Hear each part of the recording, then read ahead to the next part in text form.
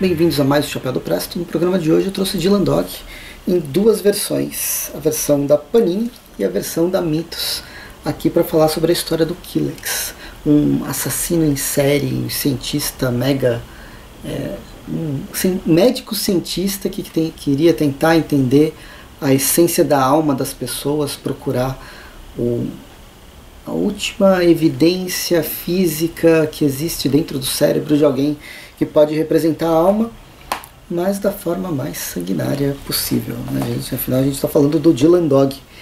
E é bem interessante que a, a Panini lançou esse encadernado que vai juntar as duas histórias do Killex, que é que o personagem aparece. Isso aqui ela lançou em 2022, aqui no Brasil. E depois, é, seguindo a linha de publicação que a Mitos vem, vem trabalhando, chegou finalmente na primeira história que é o cérebro de Killex. E aqui eles erraram, na verdade, no, na referência que está falando, publicado originalmente na Dylan Dog 129, em junho de 97. Na verdade, é Dylan Dog 129 de junho de, de 97, isso aqui está certo, mas não é dessa história, é do retorno do Killex, que, bem, essa que está publicada aqui é do Dylan Dog número 80, que é justamente seguindo a cronologia certa de publicação da mensal, como a própria Mito estava publicando. Ela confundiu tudo, justamente, provavelmente, porque ela faz, ela é responsável por editar não só as revistas dela mesma, mas as revistas da editora da editora Mitos também, em especial as, o material da Bonelli.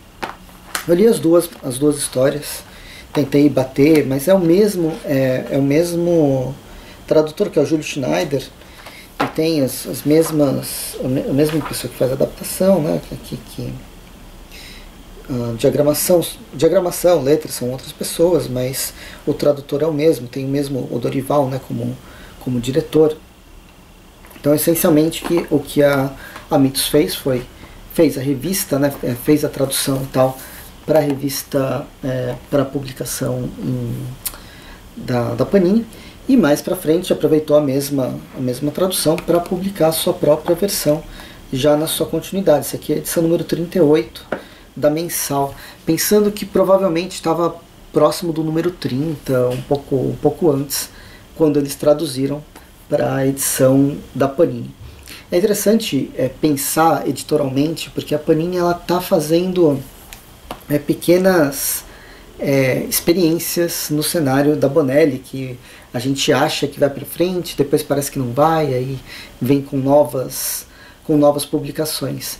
Já anunciou coisas que não foram lançadas e já lançou coisas que a gente nem sabia que iam ser lançadas como, bem, acho que ninguém esperava que ela fosse lançar tantos techs, ou um Dylan Dog Killex, um, eh, foi o Zagor Vampiro, o mesmo agora recentemente, no momento que eu estou gravando esse vídeo, foi anunciado, ainda não foi lançado, mas o Dragoneiro Origem, que é uma versão lá do Dragoneiro de 2007, que foi publicado aqui pela, pela editora Mitos no formato original, né, que foi publicado lá no Romance Fumetti no formato italiano, em branco e preto e tal, e que agora a Panini traz na versão colorida, a versão especial, que foi lançado é, posteriormente pela própria Itália num formato também maior em capa dura. Então é interessante, é bom saber que a Panini está, é, mesmo que aos poucos, né, a conta gotas, trazendo material da Bonelli. Principalmente porque esse ano de 2000, é, 2014 ele traz também uma nova experiência da Panini com Bonelli, que são os crossovers. Tem o crossover do Batman, que foi lançado no início do ano. Tem o crossover com o, o Zagor, né, o, o, é, o Zagor e o Flash, que vão, vão, vão se encontrar e já foi anunciado. Tem o crossover que não foi anunciado, mas provavelmente vai ser lançado, que é o Nathan Never e a Liga da Justiça. E dizem que esse é o melhor crossover de todos. Tem o, o Dragoneiro também, encontrando com o Conan, Conan que é propriedade aqui no Brasil atualmente da, da Panini também. Então existe é o ano dos crossovers e aí a Panini está experimentando também esses outros. Bem, se o Dragoneiro vai ser publicado né, com encontro, encontrando com Conan, por que não lançar também esse encadernado em capa dura, é, colorido, que vai chamar atenção para ter mais uma venda? Assim, pelos preços, 150 reais acho que é fa nessa faixa, para cima de 100, eu acho bem salgado. Tá certo que são 300 páginas, colorido, formato maior, mas eu acho bem salgado. Por outro lado, eu acho muito legal que a Panini esteja tentando trazer, porque enfim, ela isso aí movimento faz as pessoas conhecerem mais, quem sabe migrar e procurar explorar mais o Dragoneiro que a Mitsu está lançando e já tem mais de 20 edições lançadas. Bem, numa dessas tentativas, numa dessas experiências, a gente tem Dylan Dog Killex. Ela é uma das histórias clássicas do personagem. Clássicas não das primeiras histórias, como eu disse, isso aqui está no número 180 e 129, mas é o autor, o, o criador do personagem, Tiziano Esclave, que vai experimentar uma, uma mescla de experiências, como sempre é, né, com inspirações no cinema, de Silêncio dos Inocentes e com elementos que flertam com o sobrenatural que deixam a gente com a pulga atrás da orelha e confuso completamente, tanto o leitor quanto os personagens que estão envolvidos. Bem, a primeira história ela começa mostrando justamente o Killex. Ele é um, um médico que queria encontrar, como eu disse, a alma das pessoas, mas eu acho que não vou mostrar essa página que é muito sangrenta, mas é um cara bastante sanguinário e que foi, é, ele foi preso e tal, e aí o que a gente acompanha não é a busca por ele, a investigação sobre quem é o Killex, mas sobre uma série de mortes que está que tá acontecendo e a sua advogada que acaba, acaba se envolvendo, a advogada que lutou pelos direitos do, desse assassino, né, os direitos previstos em lei, ela luta por esses direitos.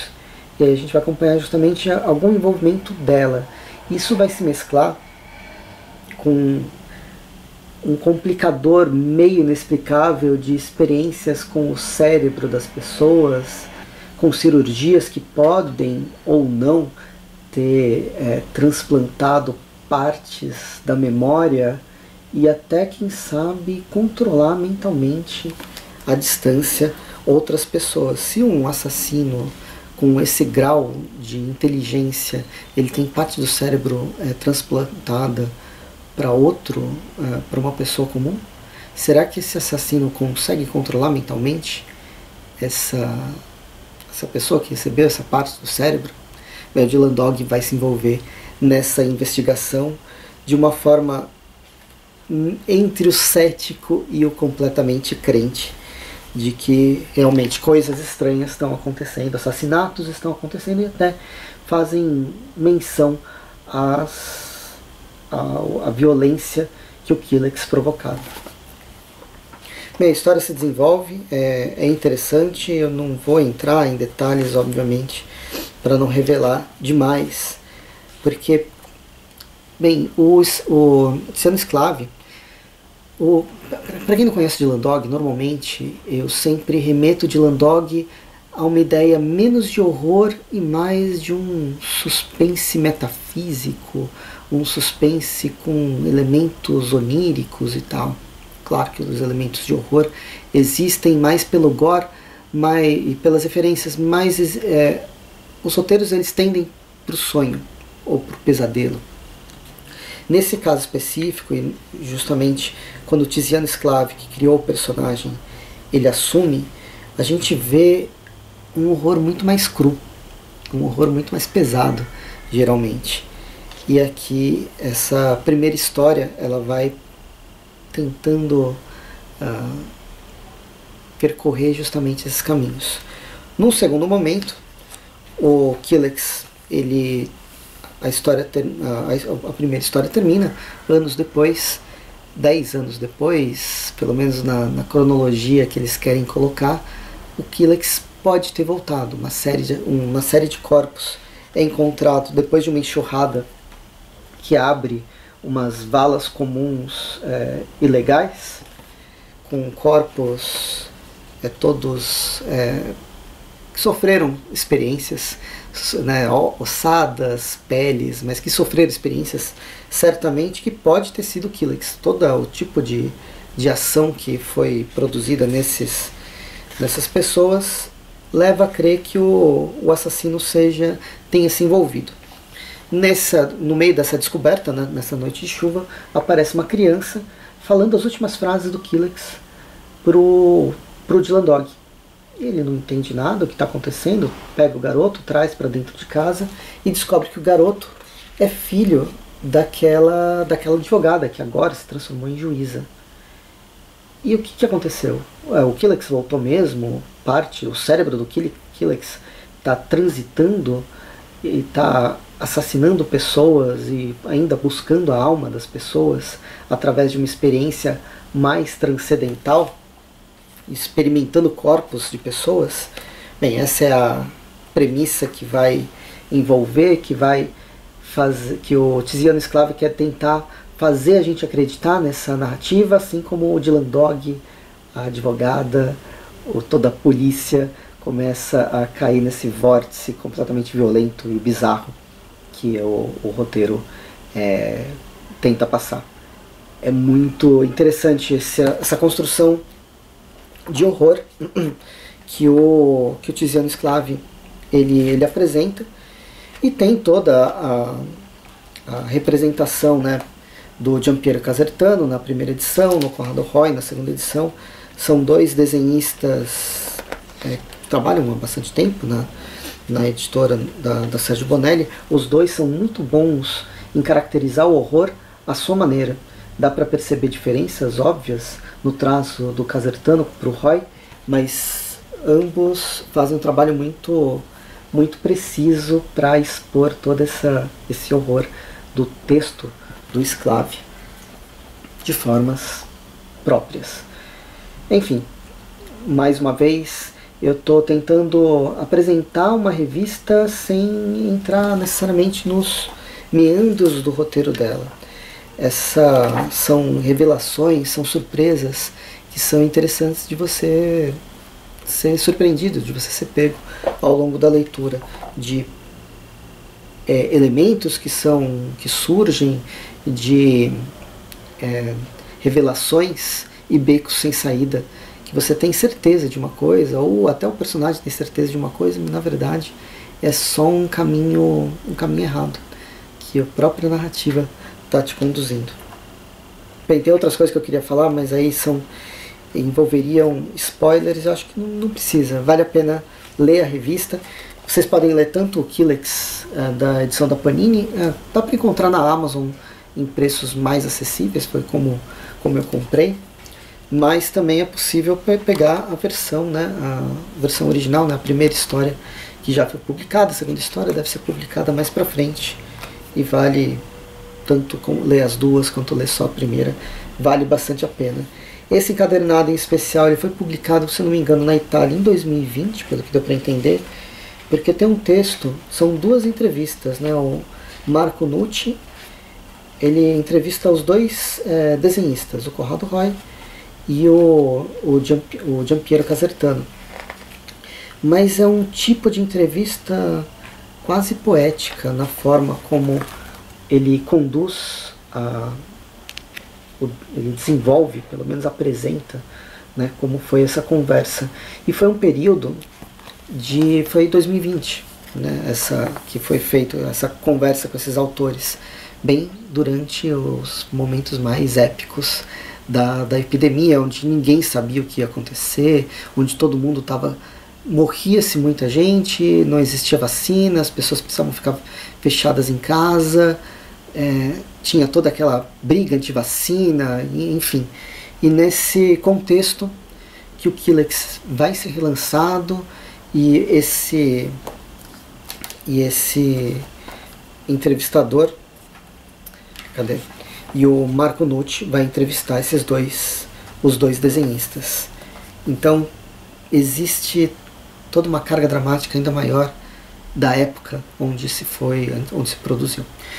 Enfim, esse foi Dylan Dog Killex, é, Killex, o cérebro de Killex, e a outra história que é o retorno de Killex, que foi publicadas ambas na Itália e agora aqui no Brasil tem versões diferentes.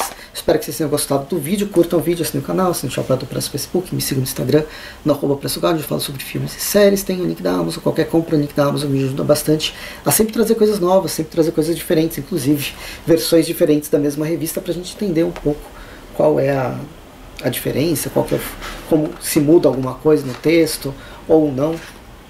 Inclusive, como eu disse, em branco e preto, né, a versão original. É, tenho a Fortaleza Quântica, o podcast um dia, amigos meus, a gente vai sobre filmes, séries, quadrinhos, faz entrevistas e tem episódios atemporais, discutindo personagens, discutindo passagens, fazendo, é, discutindo autores. Então procure Spotify, de qualquer outro agregador de áudio. Vou ficando por aqui, quero saber se vocês já leram Killex, qualquer uma das duas histórias, as duas, nenhuma delas, ficaram interessados ou não, gostam do, do Esclave, do Casertano, do Roy. A gente conversa nos comentários, enquanto isso é isso. Já falei tudo. A gente se vê no próximo episódio. Até mais. E bons quadrinhos.